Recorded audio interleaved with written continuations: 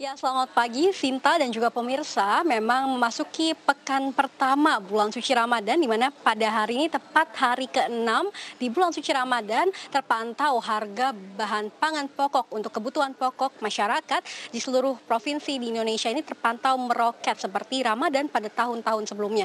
Di mana memang berdasarkan pantauan dari tim CNBC Indonesia secara langsung di lapangan meneliti eh, pasar-pasar tradisional yang ada dan juga menilik dari situs situs uh, harga pangan strategis nasional ini terdapat kenaikan pada harga kebutuhan pokok seperti di antaranya adalah harga cabai merah, beras, minyak, kemudian bawang merah sedang dan juga uh, gula merah dan lain gula dan lain sebagainya. Di mana untuk harga cabai merah ini kemarin pada pekan pertama pada awal hari pertama Ramadan terpantau harga ada di kisaran 120.000 per kilogramnya sedangkan untuk harga minyak dan juga harga beras ini masih di atas 14.000 per kilogramnya dari uh, dan ini meningkat cukup signifikan dari harga semula ini meningkat kurang lebih 100 hingga 200 rupiah.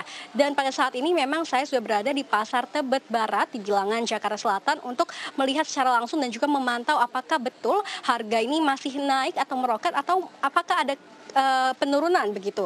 Dan saat ini saya akan bertanya langsung kepada pedagang sayuran yang ada di sisi kanan uh, saya berdiri saat ini. Halo Pak, dengan siapa namanya? Dengan Ari. Pak Ari. Pak Ari ini kan kemarin katanya cabai merah ini sempat naik di 120.000 per kilogramnya. Apakah sekarang masih sama atau justru ada penurunan, Pak? Iya, cabai rawit kemarin sempat 120. Kalau untuk sekarang ini udah turun sih lumayan. Sekarang 70.000 sekarang. Kan mendingan turunnya. Oke.